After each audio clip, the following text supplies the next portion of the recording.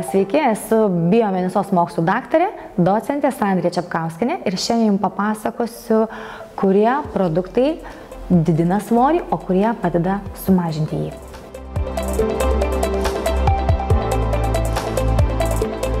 Tai trys produktai, kurie iš tikrųjų didina svorį.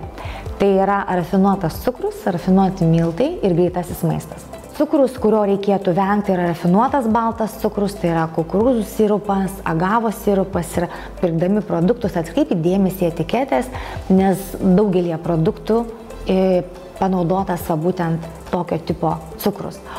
O kuo galbūt reikėtų keisti, nes tiesiog mūsų gyvenimas turi būti saldus, taip, tai aš esu už natūralų ir termiškai ekologišką, termiškai neapdorotą medų, taip pat e, kokoso žiedų cukrus galimas, gali būti nerafinuotas, rudasis cukrus taipogi ir e, taip pat ekologiškas klevų sirupas. Rafinuoti miltai, tai manau, kad tikrai esate girdėję ir, ir, ir žinot, kad jeigu mes norim koreguoti svorį ir jį mažinti, tai reikėtų rafinuotus baltus miltus keisti į viso grūdo miltų produktus.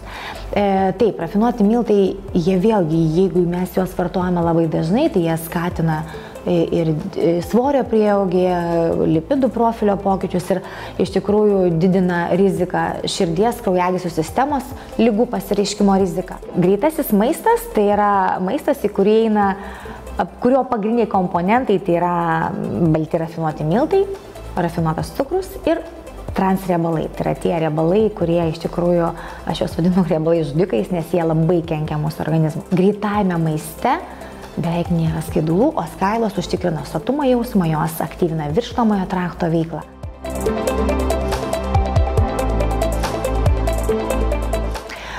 A, trys geri produktai, aišku, yra daug, bet aš išskirčiau galbūt kelis. Tai yra kiaušinis, tai yra lašiša, lapinės daržovės arba bendrai visos daržovės, dar sakyčiau, avokadas irgi yra puikus, puikus produktas, kurie padeda išlaikyti sotumo jausmą ir kurie neleidžia a, aukti, didėti svoriui, kaip kad vartojant rafinuotus, perdirbtus produktus.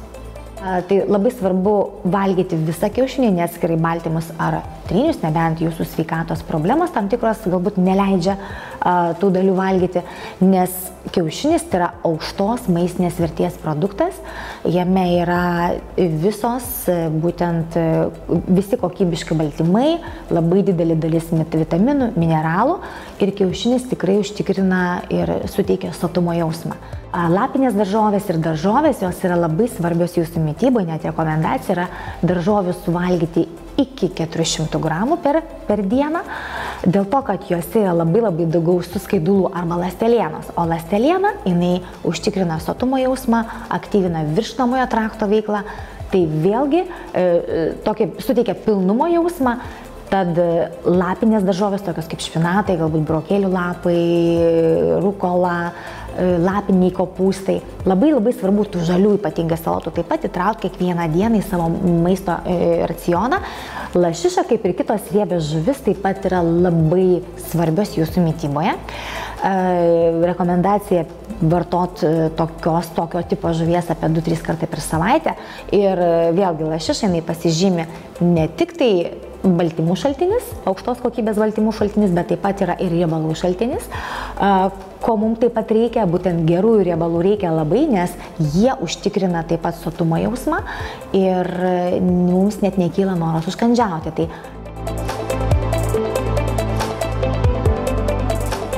tam, kad efektyviai valdyti kūno svorį, yra labai svarbu pažinti savo organizmą. Ir išmaniai laikrodžiai tai padeda padaryti daug lengviau. Išmanusis laikrodis Galaxy Watch 4 padės jums ne tik tai išmatuoti jūsų kūno kompoziciją, taip pat padės įvertinti jūsų ir pačio organizmo būklę, tai yra miego kokybę, kraujospūdį. Ir kalbant apie svorio korekciją, jo mažinimą, taip pat labai yra svarbus fizinis aktyvumas, o būtent šiuo atveju taip pat padės jums išmanusis laikrodis, dėl to, kad jisai fiksuoja jūsų kasdienę fizinę veiklą ir jūs kiekvieną dieną galite gauti tikslius rezultatus.